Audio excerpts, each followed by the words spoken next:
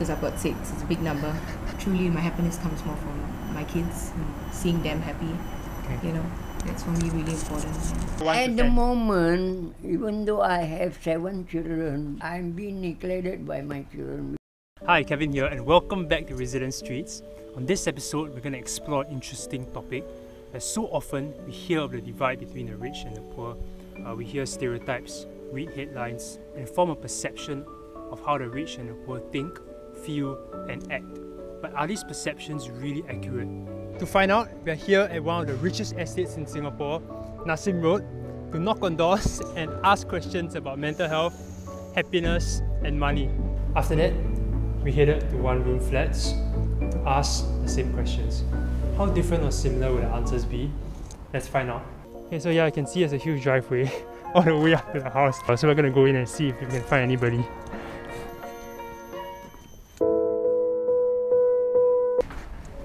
the door open over there? Let's see.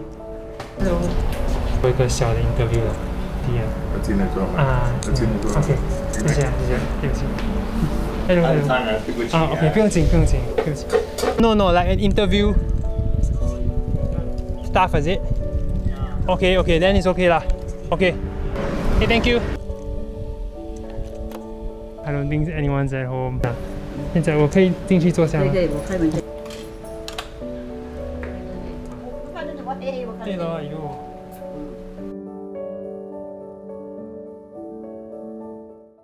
Alright, so we're about to reach my mutual friend's house. Uh, it's a really big house. It's like worth about 20 to 30 million. I'm glad that she gave us a chance to interview her. Look at the cute doggos.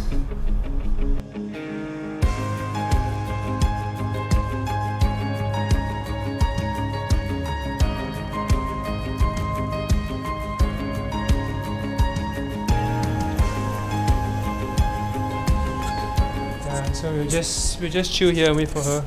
So we're here with Pearl. Thank you so much. You're welcome. welcome to my humble home. Hey, hello. We're actually doing a short uh, interview.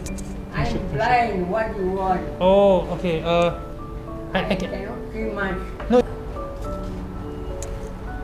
Yeah. Oh, I see. I'm 86 years old. Wow. Thank you, thank you. You right? Oh, it- it's here, is it? This is this is Winnie. Hi, Yeah. So first question is like, what do you do for a living? I'm a product manager.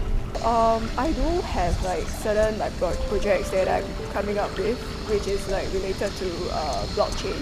Yeah, because uh, right now, if you look at all the social media advertisement, it's all about like NFTs, Yeah. like metaverse and stuff like that. I depend on my children to support me. lah. Sure. One month, I don't know how much they put, in they never even tell me. Okay. So when I had money inside the bank, ah, sometimes I buy for the number. sometimes I strike. Well, I was actually um, doing like cakes and baking and stuff, but it wasn't a professional business, it was a home based business. And I also just moved back from Sydney maybe about two years ago, just pre COVID. And when I came back to Singapore, I went through a divorce, so I did not um, work, so I was basically a homemaker. 哦，我是做那个散工，帮我帮我弟弟做卖卖水啊， Okay. 在在在 Bugis 那边呢。 I'm a fund manager. Okay. My entire career. 做工。 没有，我没有做过，我拿起机器的，政府给钱。 A scale of one to ten, how satisfied are you? I think that would be like eight, maybe, you know, because there are a few things that I still want to do in life. And, you know, and the, truly my happiness comes more from my kids and seeing them happy. Okay. You know, One to At the ten. moment, even though I have seven children, I'm being neglected by my children. I cannot complain to anybody. Okay, understand. If you want to know uh, satisfaction, there is no satisfaction. in it. I think right now it will be six. I think there are still rooms for me to improve on. Yeah, Okay. and I'm open to uh, new opportunities. 十十是啊。OK，为什么呢？有有原因吗没有，十好， ？OK。十好。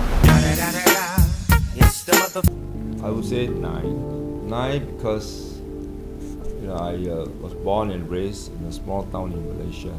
So obviously to be where I am today, I have to say that uh, I can't be unhappy. 你对钱的看法是什么？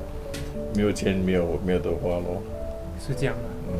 Money to me is a medium for me to break away um, cycles of poverty because uh, I don't really come from uh, a rich background. So um, in whole entire life, ever since young, I've always been like trying to earn uh, multiple streams of income. Having multiple streams of like uh, passive income to me is very very important. To me, in my English, money is the root of evil. Because of money, people do things bad. 钱代表吃饭，买电话卡、买垃圾卡。 Okay. Money becomes the thing of your pursuit when you have none of it. But when you have enough, I think it would be a mistake to still relentlessly want to make more, for such pursuit has no end. The Chinese has an axiom when the one in front of all the zeros drop, the many zeros would be worthless.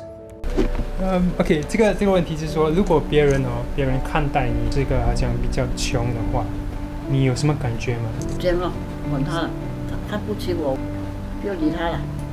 I do have some reservations because um, people these days they do have a lot of misconceptions. Okay. It's like um, doesn't mean people they are well off they don't have like um, financial difficulties. Okay. There are times whereby I do like went into like bad investments. 不要管他咯，我们做我们的，他做他的做。自己的自己的。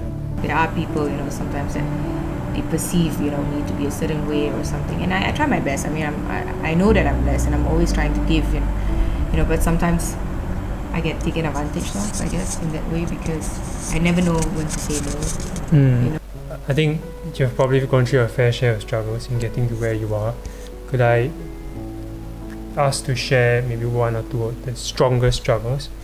For somebody uh, who comes from a very humble uh, family uh, background, raised in a small town in Malaysia, the biggest challenge I faced was to to break free uh, from the clutches of poverty.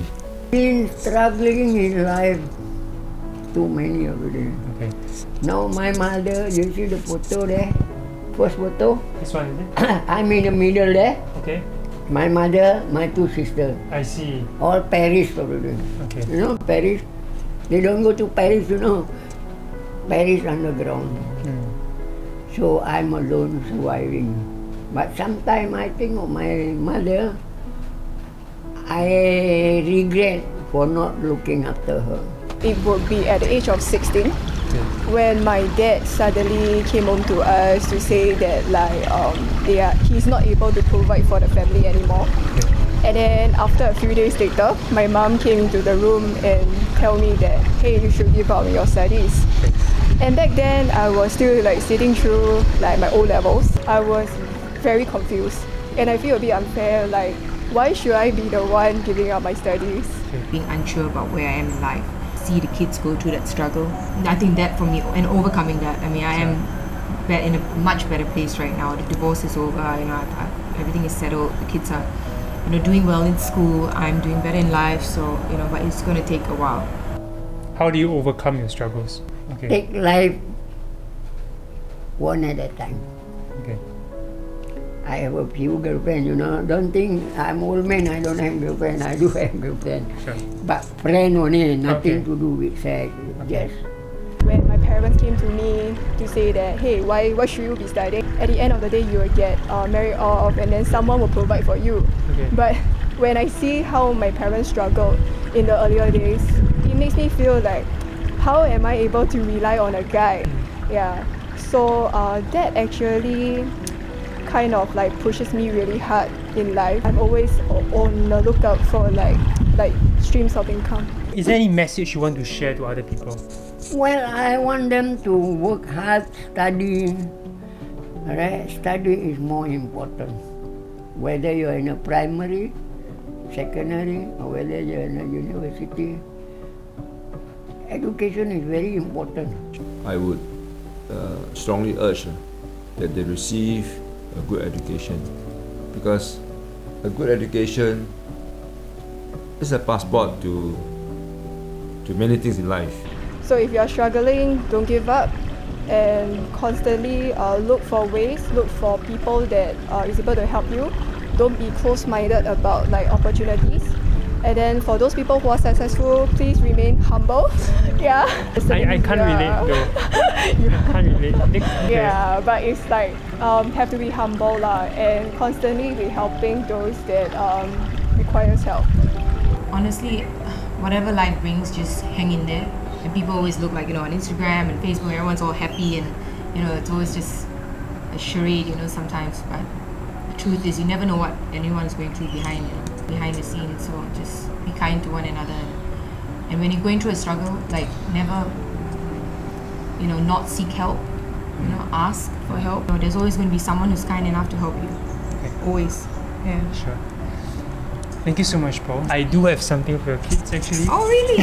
you yeah. are always coming with treats. yes, yes. Well, because you know, I know how much you appreciate your kids. Yes. I love them so much. Oh my goodness, thank you. journals, journals, and So very Okay. cool. Thank you so much. this one is just some packet noodle. This is for you also. Yeah. Ang pao What's that? Oh, thank Some you. more sun this is inside. from whom? for me. From you personally, personally, from you. personal. You- Who, you. Whoever you pray to Sure. will give you blessing Thank you. for giving something. This is for you. Yeah. Milo. Milo. and some- Ah, 不用紧 One more thing. No, no, no. We no, uncle. We have a lot. Don't worry. This is Happy New Year to you. 不用啦， Small. 不用 This 啦 one small one only. 我也是，我都没有什么东西搬。没有，你给你给我一个 interview 就是给你，不用紧，OK。OK，小的东西。哇，很好嘞，加入就把都给我个，耶，我我喝了很很肥耶。这个给你，我给你多一个纪念快乐。纪念快乐谢谢你这个 is actually for your son. Okay, thank Thanks. you. So that's it. I hope you enjoyed this video as much as we enjoyed filming it. We do have some interesting videos and viewer giveaways coming up. So do subscribe, share, like. It'll help us to bring you more in future. Stay resilient and we'll see you on the next episode. Bye.